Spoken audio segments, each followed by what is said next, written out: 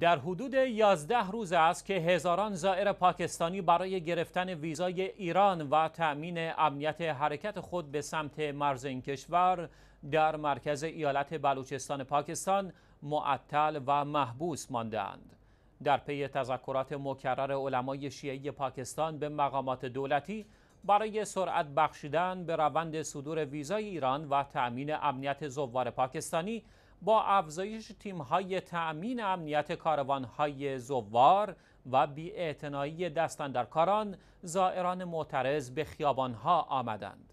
شهروندان پاکستانی معترض با سردادن شعارهایی خواستار رسیدگی فوری به وضعیت اسفبار خود شدند و زندانی شدن خود در شهر کویت را حاصل بی تدبیری حکومت پاکستان و دولت این ایالت دانستند.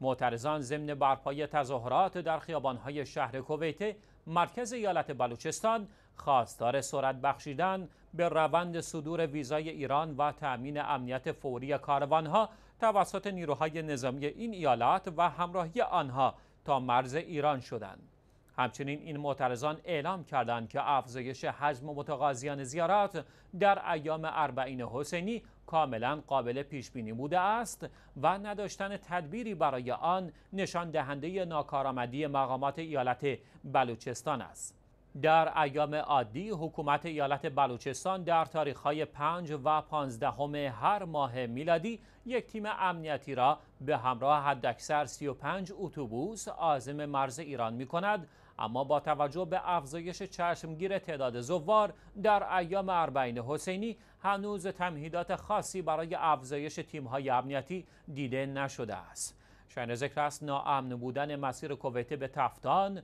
در پی اقدامات تروریستی سنی های تندرو باعث شده تا زوار پاکستانی فقط با همراهی نیروهای نظامی اجازه تردد در این مسیر را پیدا کنند.